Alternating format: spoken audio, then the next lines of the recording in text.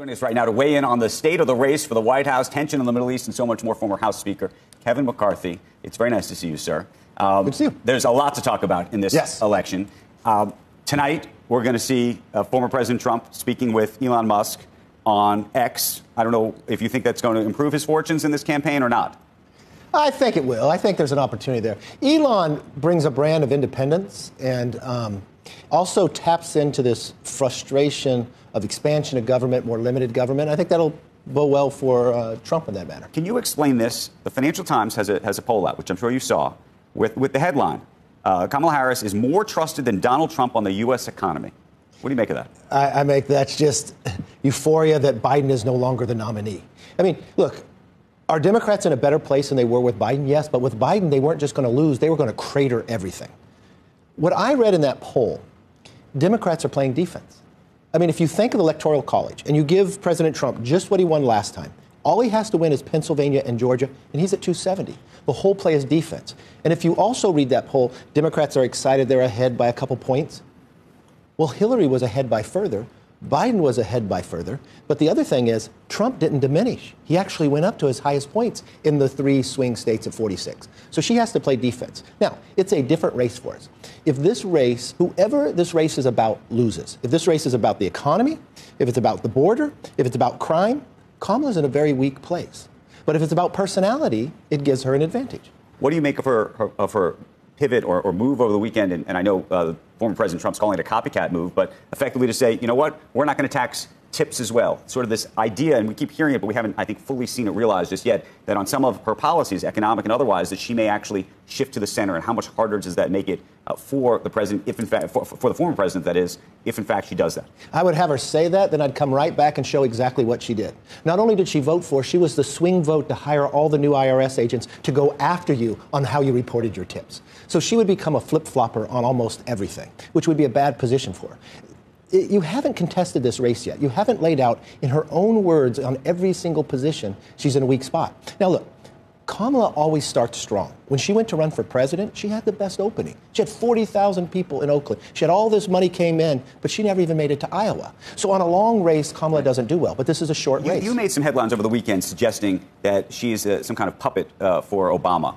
No, that, that, that he's running the campaign or something. What, what was that about? I didn't use the term puppet. They, they that was they, the, they editorialized. That was the idea. No, my take was it's a much different race. You can tell Biden's people are no longer running the race. Okay, she's taking one play out of Biden. Don't talk to the press because when she talks without teleprompter, she does poorly. So keep her out of the press uh, from that only thing that is that means that she's going to, I'm assuming, maybe I'll be totally wrong, it, that she has to get to the convention. She wants to put out all of her, her policy stuff at that convention. And then I, I, I imagine, I hope that she will end up talking to folks like us on CNBC and others. No? You would hope, but I meant it doesn't look like she's going to that much. Biden didn't. It's the one place that gave them an advantage, just to not make it about themselves. But she's bringing new people into the campaign, Obama people. So you see a fundamental difference.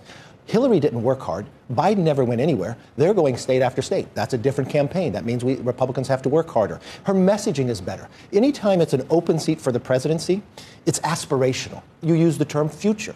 She's using language that I used when we ran to win the um, Congress an economy that works for right. everyone, right? So she's using language that has nothing to do with her so policy. How do you think former President Trump is doing right now? There were a whole bunch of stories over the weekend that said that he's very frustrated, that he's angry, that this, that sort of the, the this honeymoon period for her is putting him in a tough spot.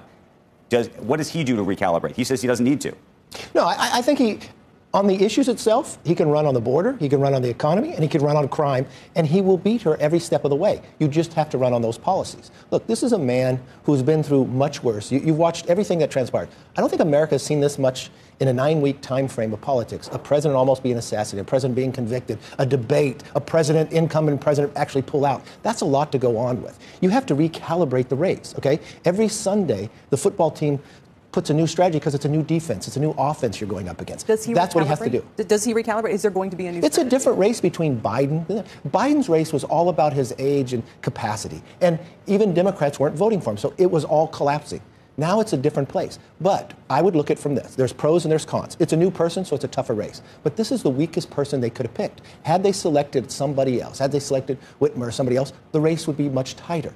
You also the race she, would be much tighter. You look Josie's losing no, right now. he's losing right now.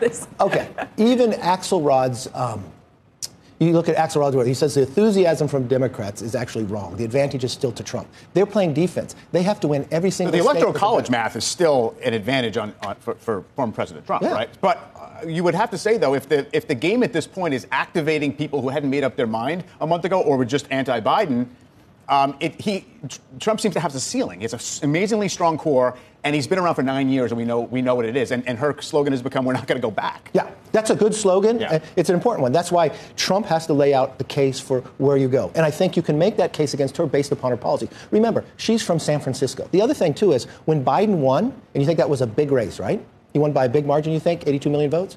It only came down to 48,918 votes, and his favorability was plus 10. That's not where she's at. J.D. Vance. Yes. Does he help or hinder the Trump ticket? Well, no, the VP doesn't determine the outcome, but I'm watching J.D. Vance in the last week be an asset.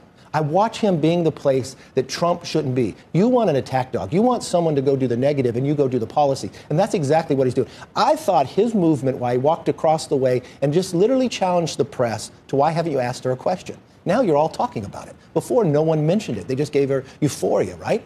That was a smart move. It kind of changed the debate. And you're looking at him, he's going out. You need an attack Right. dog of VP.